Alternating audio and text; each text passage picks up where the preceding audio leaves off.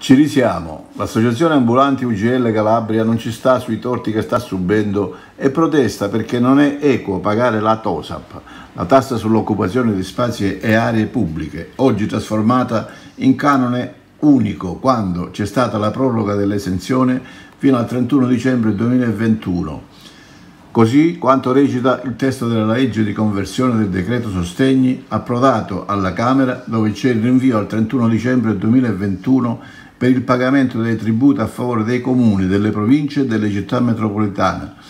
Ciò, come dalla proroga dell'esonero del canone unico 2021 ex TOSAP, novità del testo della legge di conversione del decreto sostegni approdato alla Camera con il rinvio al 31 dicembre 2021 per il pagamento di TOSAP, COSAP e tasse sulla pubblicità.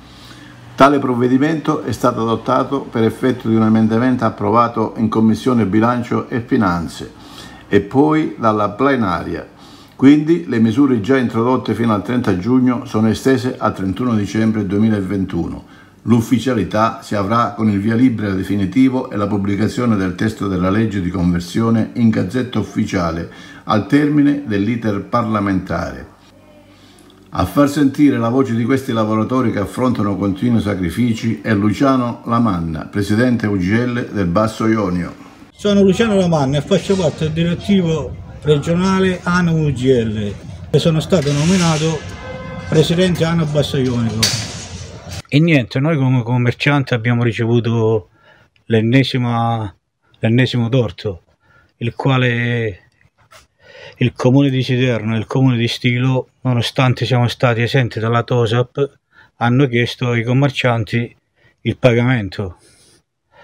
Siamo, come associazione siamo subito intervenuti tramite il nostro segretario Marrico Rosato, il quale ha fatto subito una PEC dicendo che la legge non è quello che loro dicono, ma la cosa più grave è quella di stilo, che i nostri um, ambulanti e associati hanno, li hanno fatti pagare anche nell'anno 2020-2021, il quale è una cosa contro legge.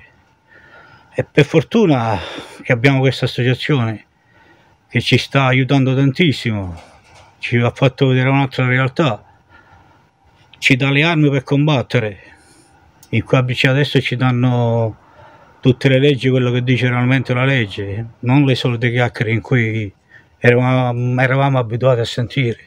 L'appello perciò è agli amministratori e in questo caso ai commissari prefettizi di Siderno e di Stilo per intervenire e ascoltare le richieste degli ambulanti.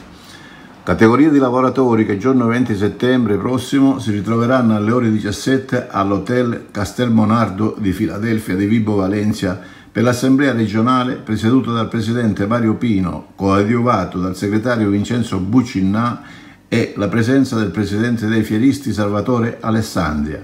Tema dell'incontro, le prospettive di sviluppo e le criticità attuali. L'invito dei responsabili ANA UGL è esteso anche a senatori e deputati calabresi.